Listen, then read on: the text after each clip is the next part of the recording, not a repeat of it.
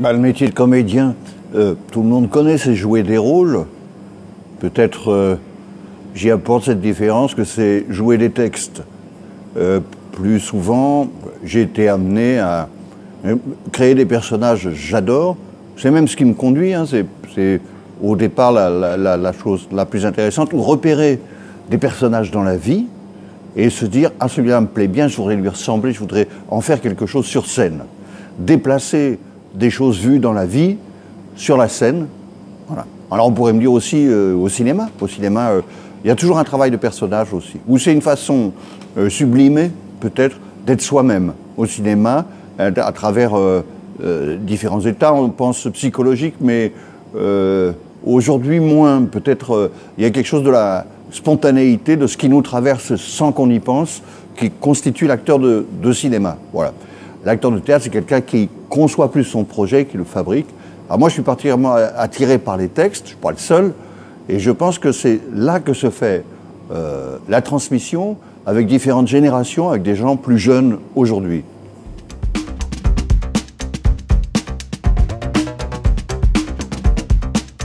Bah, justement, cette histoire-là, c'est que euh, on en a marre d'être nous-mêmes.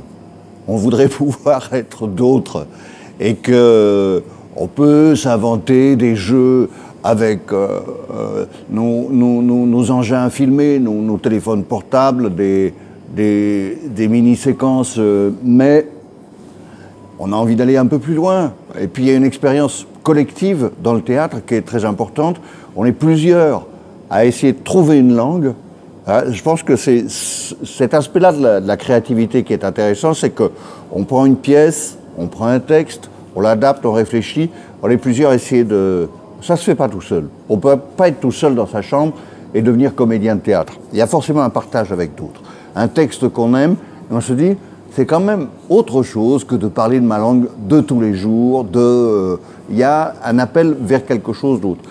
Que moi j'ai ressenti quelquefois comme une élévation, hein, c'est pas une question de se sentir supérieur à d'autres, c'est que on a parfois un peu marre de son quotidien, mais on cherche quoi? Bon, Une rêverie possible, peut-être, euh, euh, on, va, appeler ça dans le domaine sportif une façon de se perfectionner, une façon d'aller chercher au-delà de ses limites. Euh, je crois que c'est très important dans l'histoire de la langue qu'on parle aujourd'hui, de passer par le théâtre, de passer par l'expression de la scène du jeu. Il y a des tas de...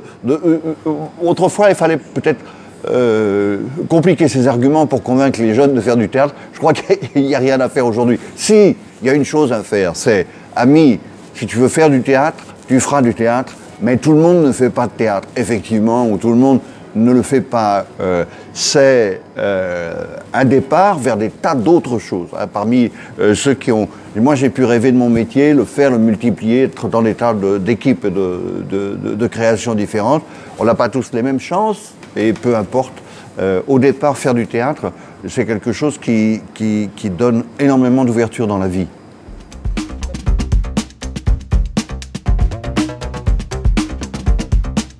me demande quelquefois des conseils pour être un bon comédien, pour être un bon lecteur. Je suis un peu euh, euh, paniqué, hésitant, je, n'en connais pas. C'est comme quand on dit est-ce qu'il y a des trucs Je sais que ça se passe dans la profondeur. Hein, c'est pas. Alors, on peut se faire une petite école de l'imitation. Ça, ce que j'appelle la, surface. Euh, regarder les séquences, les rejouer, essayer de ressembler à un personnage qu'on a aimé, etc. Mais c'est pas le truc. Hein.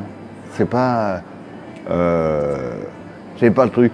En lecture, particulièrement, on m'a demandé des conseils en me disant euh, ce doit être bien, bien possible que vous, êtes un bon lecteur, c'est vrai. J'ai enregistré des, des, très bons morceaux, je travaille bien sur la langue à lire, ça c'est la lecture publique. Et j'ai pourtant pas vraiment eu des résultats dans la transmission. Je suis peut-être mauvais. Je sais qu'il faut partir de choses simples, il faut comprendre ce qu'on est en train de dire. Il faut comprendre ce qu'on est en train de lire. Et peut-être ça procède d'abord ou par instant de la lenteur, voire de la neutralité. Parce qu'on a envie de jouer plein de choses, plein de choses. Ah non, commencer par un truc. Euh, oh, on a toujours des réserves en nous. Réussir à se.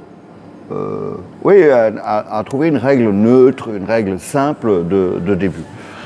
après, ben, effectivement, il faut ressentir des choses à l'intérieur. Et ben ça, ça se travaille.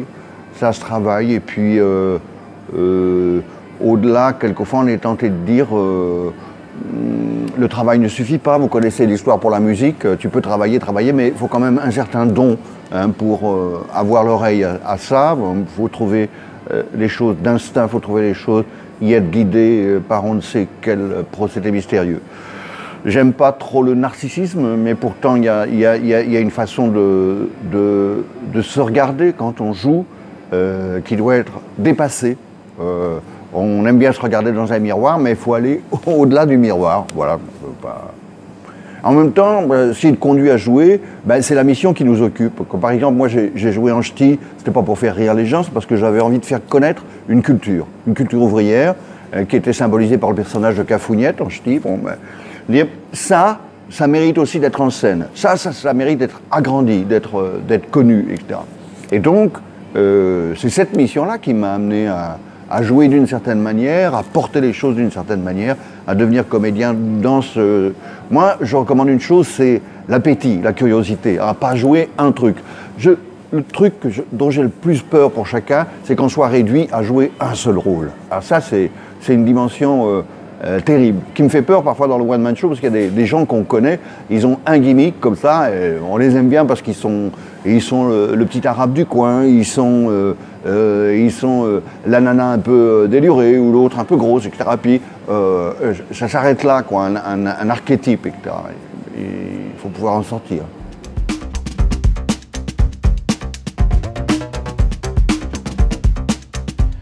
Moi, j'ai la chance de travailler dans des familles importantes euh, qui par elles-mêmes euh, m'engagent dans des troupes de théâtre qui étaient importantes.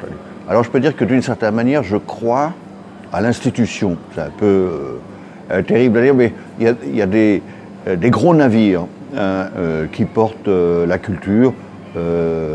si vous pensez culture, vous pouvez penser au grand théâtre, à l'opéra, au grand musée, etc. etc mais il m'a toujours euh, semblé important dans ma vie de comédien, je ne suis pas grand-chose, de, pouvoir euh, changer de dimension, d'aller dans les petites embarcations, pas seulement être... Euh, et donc je m'approche d'expériences extrêmement diverses. je vais par exemple à Grenay, dont j'admire la ville de Grenay, à côté de Los Angeles. L'engagement dans la culture est très profond. Ils disent d'abord, la ville dit, avec une construction de médiathèque formidable, nous, pour s'en sortir, on a besoin de la culture. Le social tout seul, ça veut rien dire. La santé tout seul, ça veut rien dire. La sécurité tout seul, ça veut rien dire. Il y a là-dedans euh, constamment à passer par la culture, médiatisé par la, culture. Bon, l'engagement, il se fait là. C'est appartenir à des expériences parfois euh, très parsemées, très diverses, essayer de euh, porter ce métier-là au-delà des, cases dans lesquelles on m'attend, des, scènes euh, sur lesquelles je suis censé jouer. Alors je crois beaucoup à l'apport des médiathèques quand celles-ci sont créatives. Je crois aux familles marginales euh, et magnifiques, qui ont une grande histoire. Je pense à ça, par exemple, je pense au Prato à Lille qui fait du théâtre, ou au Tirlaine qui est à la fois une, une équipe et une école. des tas de gens qui ont réinventé la vie, et ça c'est très, très important. Voilà, on peut être estomaqué par les grandes opérations, les grands événements, l'île 2000, l'île 3000, euh, toutes ces choses, etc. Euh, une exposition à couper le souffle. je suis le premier à adorer euh, le, tribostal, etc. Mais aujourd'hui, après la pandémie, après ce qu'on est en train de connaître, le de, de bouleversement sanitaire, mais aussi, hein, on ne l'ignore pas, climatique, c'est-à-dire le danger de toute destruction, euh, aujourd'hui, euh, le, fait de pouvoir réduire son échelle et d'être capable de la multiplier, en quelque sorte, de faire jouer aussi ce langage de proximité, euh, pas être impressionné par les, seulement les grands édifices, ils sont impressionnants, hein, je ne les redis pas, etc., mais aussi avoir un, langage de, proximité avec des tas d'expériences qui, se passent autour de, moi.